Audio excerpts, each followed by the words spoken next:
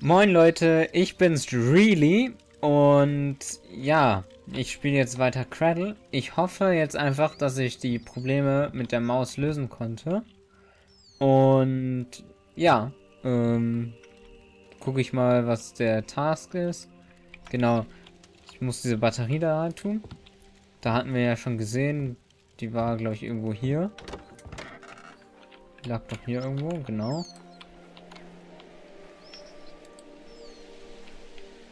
Ich weiß nicht, ob das so richtig ist.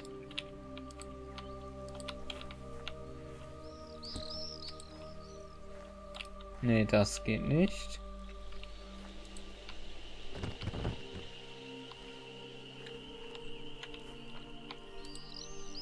Ich weiß nicht genau, was ich machen muss. Box is wired up. Heißt das vielleicht, dass es jetzt geht?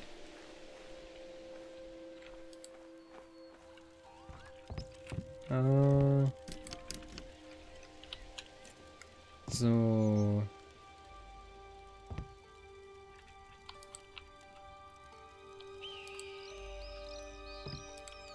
Nee, das haben wir noch nicht gemacht.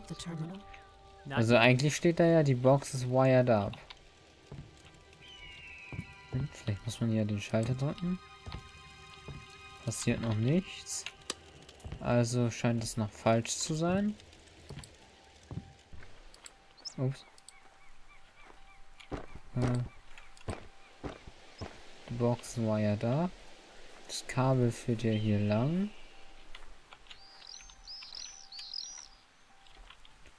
Und geht dann gemeinsam hier rüber. Das eine geht zu der Antenne in der Mitte und das andere geht hier rein. Das müsste ich nur wissen. Ähm das andere kommt ja hier raus.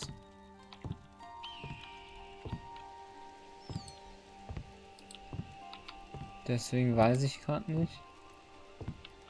Äh, was ich tun muss. Ist natürlich ein bisschen doof.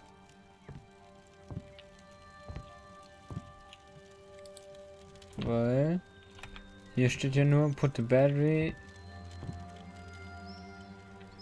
The batteries, das heißt, da sind mehrere. Aha. Macht natürlich Sinn, dass ich nicht nur eine brauche. Okay, ich brauche noch eine dritte, die ich finden muss. Das macht natürlich Sinn. Ähm, ja. Guck ich nochmal, ob eine hier drin liegt. Aber denke mal nicht. Deswegen gehe ich jetzt erstmal raus nochmal. Box wired up. Es sollte ja nicht weit weg sein hier.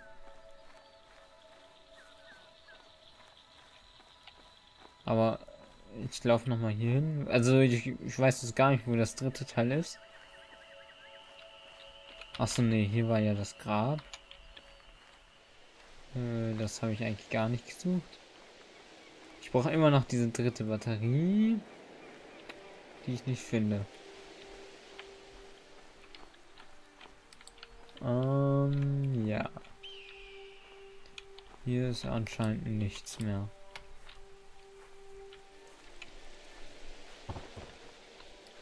Irgendwie habe ich das Gefühl, die wäre da drunter, aber glaube ich jetzt nicht. Also. Das wäre schon zu witzig, wenn die da wirklich wäre. Ne, das kann ich damit nicht benutzen. Brauche wirklich eine dritte Batterie. Ups. Ich kann nicht mal mehr Leitern steigen. Äh, ja. Jetzt können wir hier in unser Haus gucken. Mal ein bisschen in die Ferne schauen. Aber ich weiß nicht, wo ich eine dritte Batterie herbekommen soll. Moment, ich probiere einfach nochmal den Schalter zu drücken. Einmal hier. Hm, da. Nee, das geht auch alles nicht. Nochmal alles öffnen. Aber anscheinend ist das hier nicht. Ich würde zu gern wissen, wie das geht. Oder wo man die findet, eher gesagt. Aber hier ist auch kein Tipp. Hier da steht halt wieder nur put the, put the batteries. Ähm, ja. Ich laufe mal. Moment. Ups. Dann. Also ich gucke mich jetzt erstmal hier um. Irgendwo muss ja diese Batterie sein.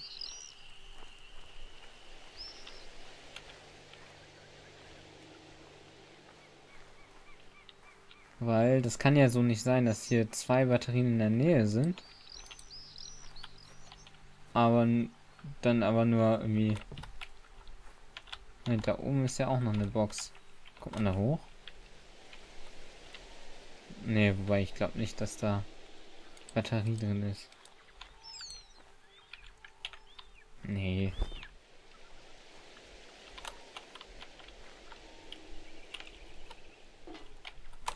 Ist wahrscheinlich wieder dämlich. Das ist wie, wie beim letzten Let's Play, wo ich einfach nicht wusste, was ich tun soll für irgendwie zwei Folgen oder so. Deswegen ist jetzt natürlich ein bisschen doof. Ähm, vielleicht kann ich das ja ganz schnell nachgucken während ich mich hier so hin und her bewege. Äh, wie gut es Smartphones gibt. Ich will euch ja hier entertainen, aber gleichzeitig auch tippen. Äh, ja.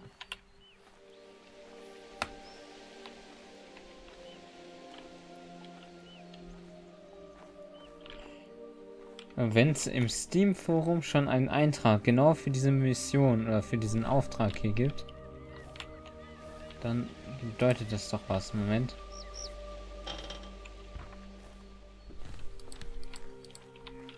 So. Hier renne ich wieder gegen die Leiter. So. Vielleicht hilft das ja. Wenn da jetzt oben eine Solarplatte dran ist.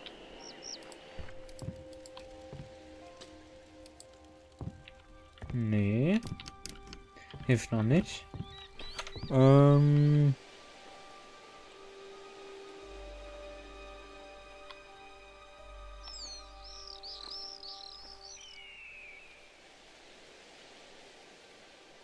Okay, ich habe die zwei Batterien. Ich habe die zwei Batterien. Und die Box. So. Zwei Batterien. Also hier diese Box wired up. Ich, also alle Sachen gibt es hier in diesem Garten. Äh, also da steht jetzt nicht, wie man es machen muss. Und eigentlich will ich das auch gar nicht so wirklich wissen. Sondern ich würde halt gern weitermachen, aber es ist ja ein Rätselspiel slash Adventure, Game. Deswegen gucke ich schaue ich mich hier weiter um. Guck noch mal oben auf dem Dach. Das, ich glaube, das war schon richtig, dass ich das da hier angebracht habe. Hiermit kann ich nichts machen.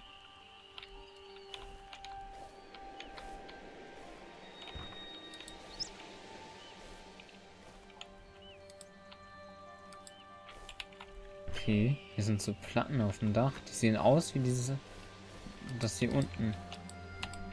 Keine Ahnung, was das ist.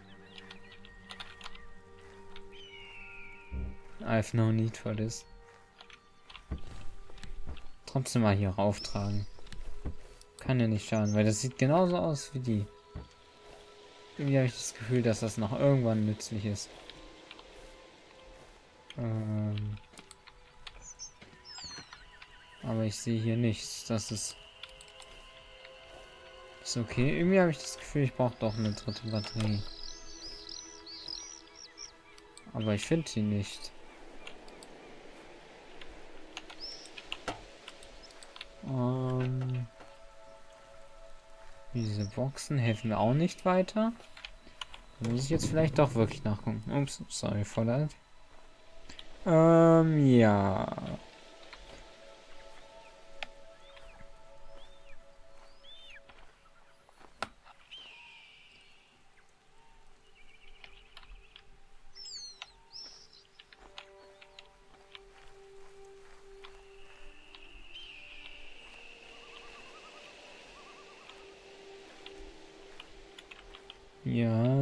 sorry, dass ich jetzt gerade leise bin. Ich muss das kurz lesen, weil sonst...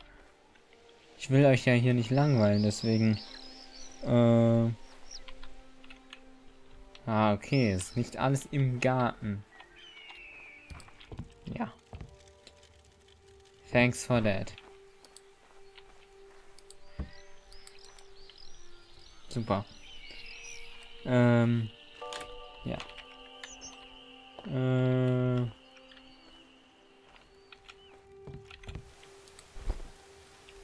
Okay, ich brauche. Es stand hier Remote Control. Äh, wo gibt es denn hier einen Remote Control dafür?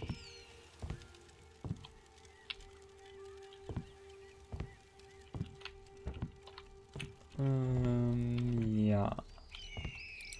Gut, dass ich gerade nichts finde. Das wollte ich nicht. Eine Brille will ich auch nicht. Nein. Nein. Und auch nein. Da steht hier.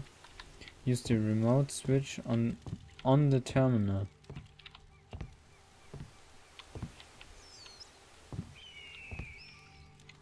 Aha, an, unterm Bett. Wie soll ich denn unters Bett? Oder unter dem Table. Aber das ist doch auch, nichts. Nee. Hä? Dieser Tipp war jetzt irgendwie hilflos. Äh, nicht hilfreich.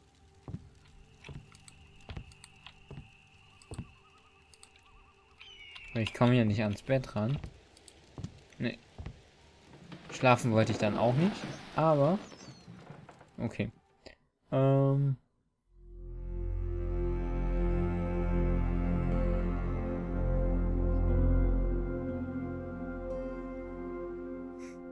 Coole Zwischensequenz. Ja. Jetzt werde ich wieder wach. Und trotzdem, man muss immer Sachen finden. Äh.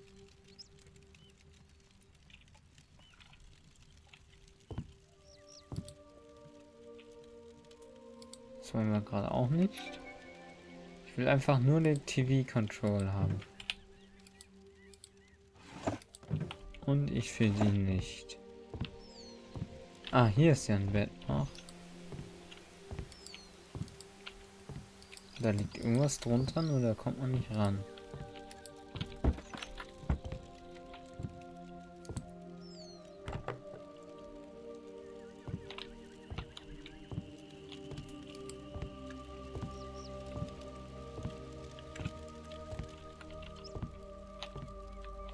Aha. Aha. Da haben wir es doch. Was ist denn jetzt da?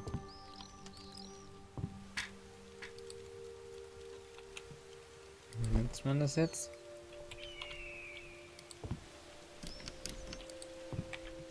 Uh, use the remote switch to control the terminal. Ich lasse es so, dass ich das fallen. Wo ist denn jetzt hin?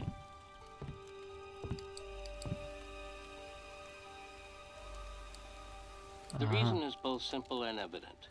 Simultaneous existence of two copies of the same person gives rise to problems we are not prepared to tackle, as clearly demonstrated by the sorrowful experience of the recent past. past. For now, strict prohibition on duplication and forced deactivation of existing duplicates remain the only solution to the situation. Deactivated neurocopies are retired into secure storage facilities for likely reactivation in the future when a legitimate solution is found. This is one of the cases.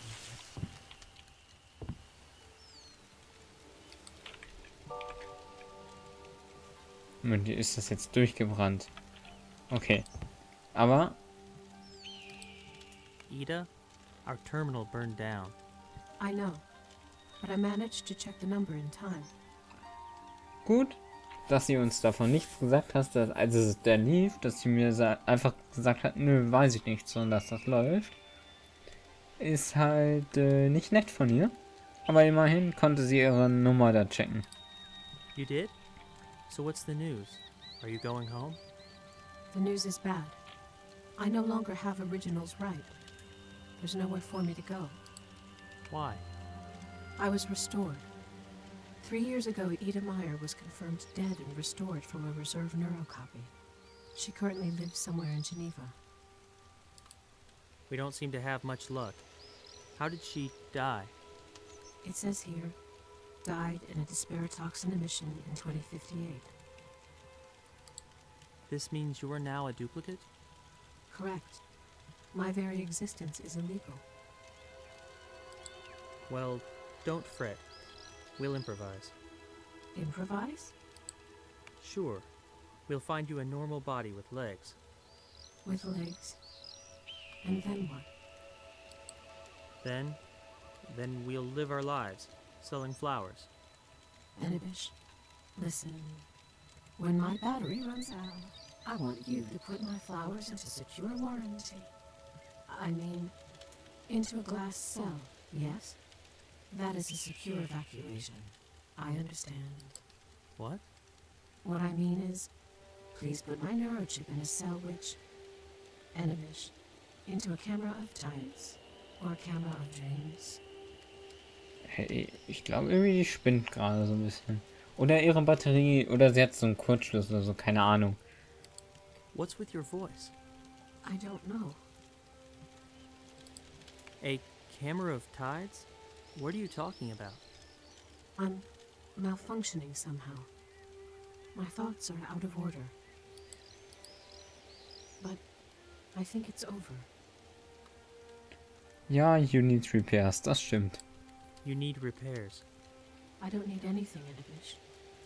I'll be put to sleep soon. Disconnected. And for a long while, I bet. So, you've decided Yes, that is my decision. So you wake up and go right back to sleep. Got it. More like wake up, get totally confused, then go back to sleep. what are you confused about? The explosion, for one thing. I haven't a clue how I'm connected to it. You got caught in an emission. That's just bad luck. No, Enibish, it's not that simple. I found another mention of my name, here, in the database, in the search history. Somebody was searching for information about me. So what? What's so strange about that? The fact that it was the only query for my name in the entire search history, made 20 minutes before the explosion. Strange indeed. Also da hat sie jetzt schon recht. Das ist merkwürdig. Aber könnte auch nur purer Zufall sein. Wer weiß. Vielleicht finden wir es ja raus. Ich weiß auch nicht, wie lang das Spiel geht und deswegen ähm, weiß ich auch nicht, wie, wie weit die Story jetzt gehen wird. Who made the query? A man named Mark. Mark Daring. He's listed as transfer operator. The explosion happened on his shift. There's even a recording of it. And also, how curious. What?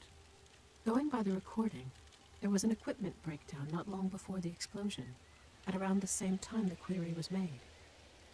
Yes, I want to know what happened there. What kind of a recording is it? A report. It was saved automatically. It mentions some kind of a malfunction that, because it wasn't corrected in time, forced a modification in the transfer procedure. And no, I don't know the nature of the modification.